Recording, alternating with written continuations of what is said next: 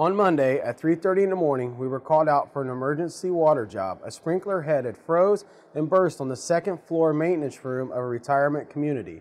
The water flooded a large section of the second floor and flowed down to the first floor, causing the first floor to become flooded as well. Within 20 minutes, our crew was out there extracting the water and setting up equipment to dry out the moisture in the walls and the floors. Since the property manager called us as soon as it happened, we were able to come out quickly and save some of the building materials. If you ever experience a water loss in your home or business, the best thing you can do is call us at 419 331 1024. The water damage can strike at any time. That's why we're here to strike back for you day or night. We're here for you in your time of need.